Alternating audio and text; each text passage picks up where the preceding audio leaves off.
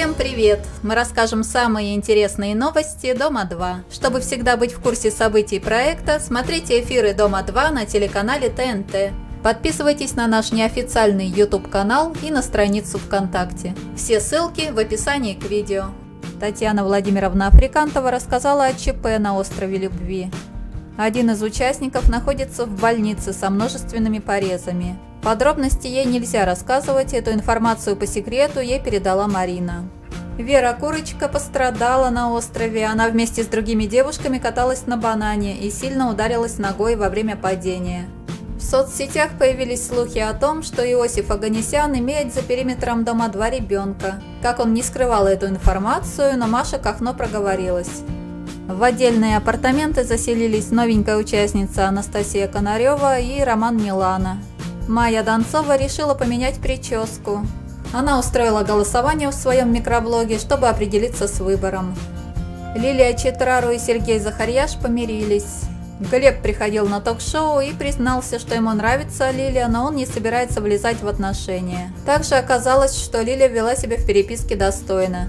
Дима Дмитренко рассказал о причине скандала, который перед свадьбой устроила в салоне Влада Кадони Ольга Рапунцель. Девушка приехала сделать маникюр, но мастер призналась, что не сможет сделать тот свадебный дизайн ногтей, который просит Ольга. В итоге она стала ругаться, довела до слез мастера, плакала сама, а Рапунцель оправдывается тем, что у нее был предсвадебный мандраж. Юлия Ефременкова старательно работает над своим характером. Она считает, что меняется в лучшую сторону. Об этом говорят ей все подписчики. «Когда столько людей в меня верят, права на ошибку я не имею», – пишет Юлия. Юлиана Богомолова переехала в женскую спальню. Как вы помните, она поругалась с Никитой Шелюковым из-за цепочки, которую подарил ей Виталий Малышев. Ну а Шелюков не понимает, зачем же Юлиана выбрала его, если она до сих пор неравнодушна к Виталику. Артем Волков опроверг слухи о том, что он покинул дом 2. «Я на доме 2 никуда не ушел, не дождетесь», – пишет он. Катя Жужа устроила участникам на острове праздник. Она привезла своих подруг, певицу Таню Терешину и Асти. Алена Водонаева получила премию «Смелая мама 2017-го». Ей дали красивую статуэтку в виде алмаза. Саша Гозиас думает о том, чтобы еще улучшить в себе.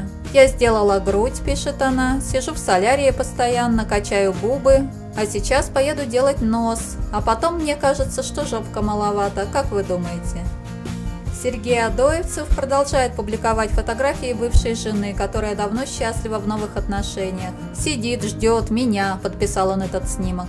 Подписчики советуют ему посетить психиатра. Вика Боня приняла участие в рекламной кампании ювелирного бутика. Ей оставили много нелестных комментариев под видео со съемок, но девушку это не расстраивает. Стала известна стоимость автомобиля, который купила Ирина Агибалова.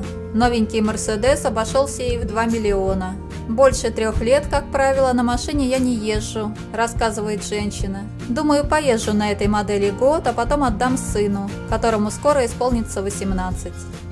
На этом все. Спасибо, что были с нами. Ставьте лайки, комментируйте, подписывайтесь на наш канал на YouTube и на страницу ВКонтакте. Ссылки ищите в описании к видео. И не забывайте смотреть эфиры Дома 2 на канале ТНТ.